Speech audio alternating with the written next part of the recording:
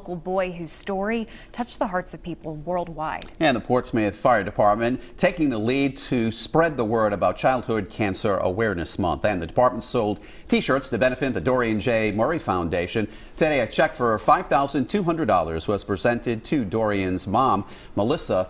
The Go Gold shirts was worn by firefighters while on duty in about a dozen departments this month, including volunteer and paid departments. His memory obviously still alive and doing great stuff. Of course. There is more coverage you can count on straight ahead on Eyewitness News. Here's a look at the stories you'll see new.